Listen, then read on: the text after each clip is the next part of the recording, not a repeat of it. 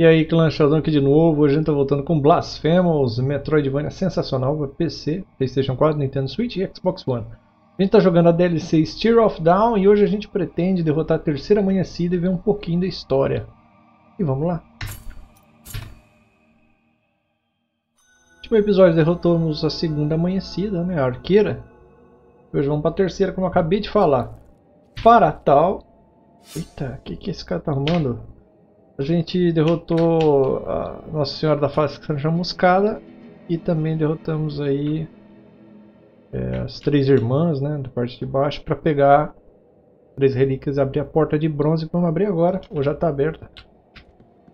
A gente não está fazendo em vídeo porque a gente já fez isso lá na nossa série. Né? E aí ficaria uma gameplay muito repetitiva e longa, sendo que tem tanta coisa legal para mostrar aí nessa DLC. A gente derrotou também o cara do martelo. E a irmã dele. Tivemos que derrotar a irmã dele também. Tá o menininho. Essa área tá, foi retrabalhada, né? Tá mais bonita. Pode ver que tem umas lanternas, umas coisas esquisitas. Tem um teleporte. O, no EDLC aumentou o número de teleportes que antes era disponível e também Agora é possível fazer teleporte pelo save se houver upgrade na igrejinha lá em Albeiro. Também aqui está fechado. E aqui a gente encontra um negócio muito legal. E é onde repousa a amanhecida mãe, né? A gente sabe que são quatro amanhecidas, tem quatro estátuas em volta deste uh, espelho, dessa caixão de vidro. E aqui já tenho duas armas, né? Então faltam mais duas amanhecidas. Alguma coisa. Mercúrio. Eu não vejo, não estou vendo muita vantagem trocar os nossos frascos de Billy por Mercúrio. Aquela parte de cima ali da árvore ferrosa é área nova. A gente pula os diálogos na nossa gameplay, só dedica mesmo a parte de exploração, sei lá, talvez considerar.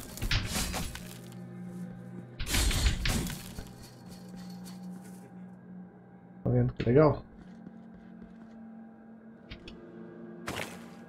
Uh, muito quase.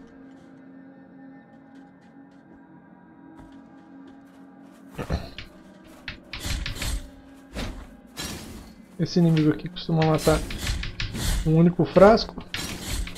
Um new game, né? A gente já mencionou essas coisas na, nos episódios anteriores.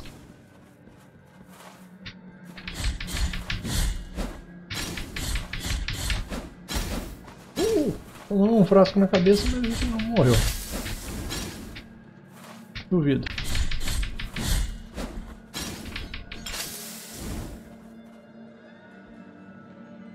E agora, hein? E agora? Ah! Tudo bem. Tem essa parte aqui, ó, que não existia. Isso aqui, se a gente subir, vai fazer a ligação lá na prisão. Foi aí uma melhoria no mapa que eles fizeram. Ficou bom, na minha opinião, ficou bom. Aqui ficaria o velho, mas a gente esqueceu ele lá atrás. Velho dos dedão.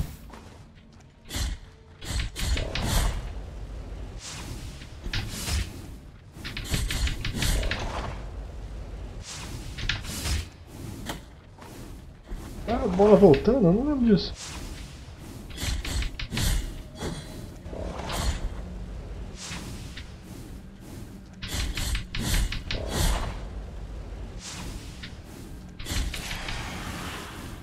Certo trabalhinho, viu? Aí do dedão fica por ali. Vamos dar o dibre. A intenção não é explorar muito essas áreas já exploradas antes, não tem nada de novo por aqui. Salvar aqui no nó das três palavras, a gente vai contornar tudo por cima. Aqui. A história está em português e a gente colocou o diálogo em espanhol. Se você for jogar Blasphemous, experimente o diálogo espanhol, está bem legal. Mãe de todas as mães.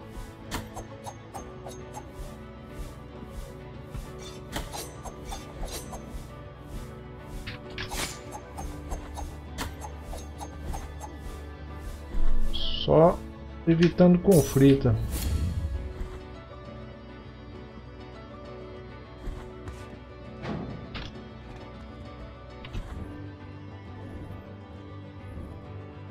Esses incensos, tem cautela.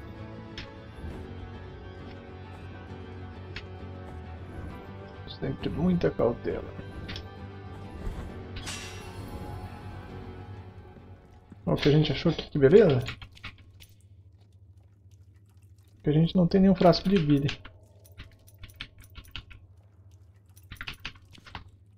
E a gente pegou lá atrás foi as três santas chagas, nossa.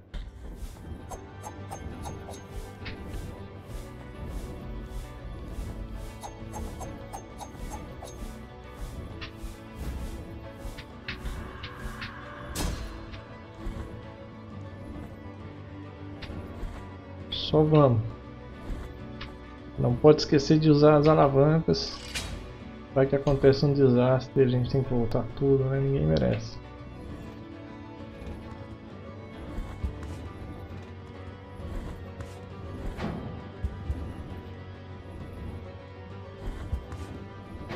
Dá pra evitar o conflito, dá pra passar bem rápido mesmo.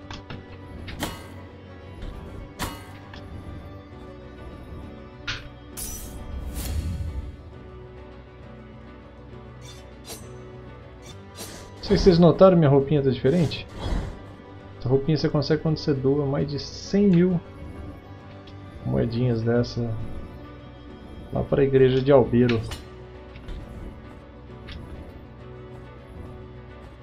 Ó. Sucesso. Está bem próximo do nosso objetivo. Eu acho.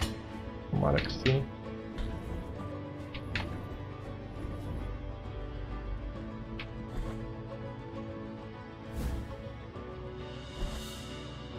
Coxal de Júnior. É para arrancar o pecado.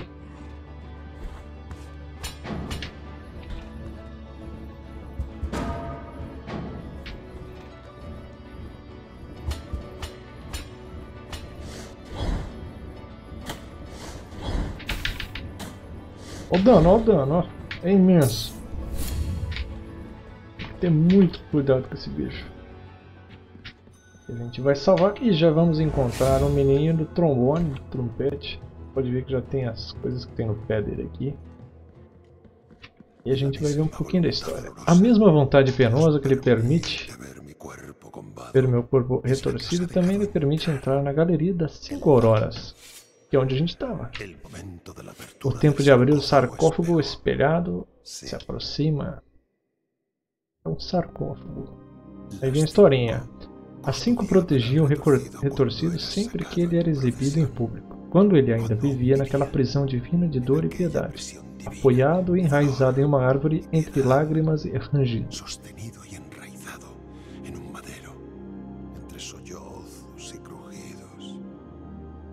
e. E rugidos. Já faz muito, muito tempo. Dela surgiu Saeta, a marcha de procissão que se espalhou por toda parte, avisando a todos que o pai estava sendo persuadido novamente. De novo. Muito bem. ¿Deseáis hacer cantar al bronce? Ella. Sí. Deseo.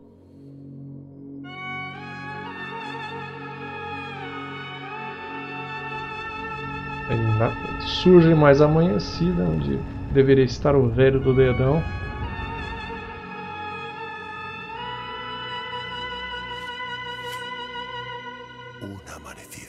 A amanhecida já despertou. O que, que a gente vai precisar para chegar lá bem rápido? Tá salvo ali atrás. Então a gente, se você salvou todos os querubins no jogo anterior, então você tem o pergaminho que permite você cair. Isso agiliza bastante a história. Beleza? Para enfrentar esta menina, a gente vai usar a Zarabanda. Que são aquelas esferas que vão rodando em volta da gente.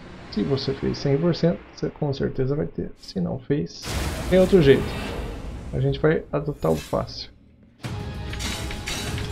Essa amanhecida, os ataques dela normalmente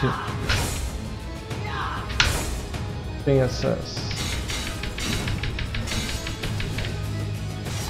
esses projéteis que são dá pra repetir né? Nossa gente mergulhou no ataque dela. O dibre que ela dá ela não para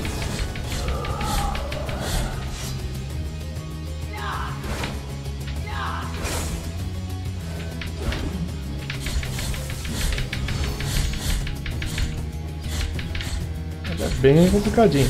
Pra mim, uma das piores.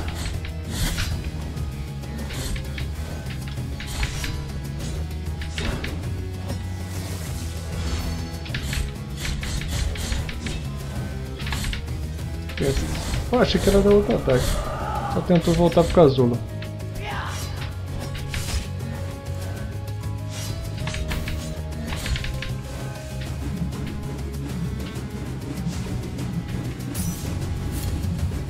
Esse é o momento de usar a tal da Zarabanga.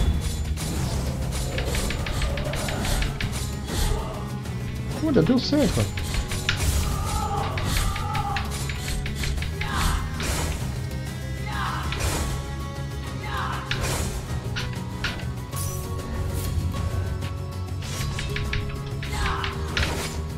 Oh.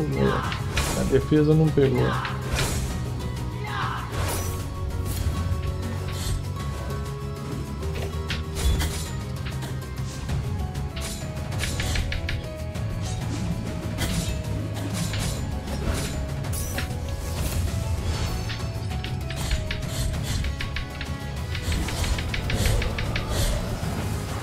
Complicou a nossa vida.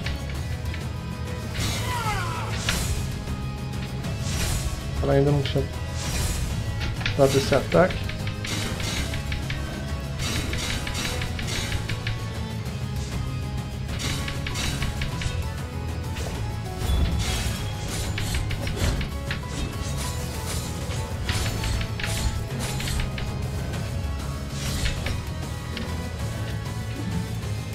Vem o peão no baú de novo. Estou indo bem, mas eu não sei se vai dar pra...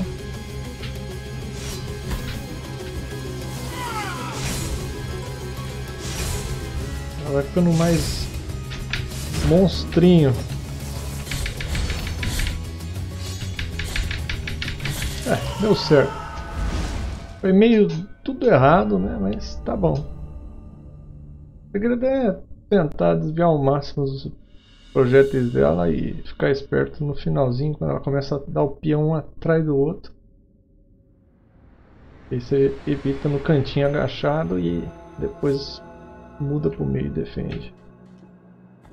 Os ataques dela são meio tensos, viu? Sofremos. E agora, o que fazer? Vai sumir daqui.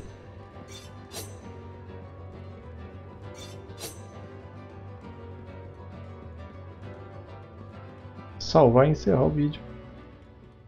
Para concluir a série da nossa DLC, eu acho que vai mais dois vídeos. E talvez a gente faça mais um para explorar melhor aquelas aquelas opções iniciais. A gente não usou nenhuma. É uma devenda aí para vocês, meus amigos aí nos comentários estão cobrando como é que funciona, o que, que faz. Vamos ver, vamos descobrir. Mas vai demorar um pouquinho. Se vocês puderem compartilhar, a gente pina as suas respostas. É assim então pessoal, gostou do vídeo? Deixa o like, se inscreva no canal, dá uma olhadinha nos nossos vídeos, a gente joga jogos indie, Metroidvania e recomendações. Deixa um comentário pra gente, a gente sempre gosta de responder e ler. É, também antes disso. E é isso, fica assim. Até o próximo vídeo. Viu amizade.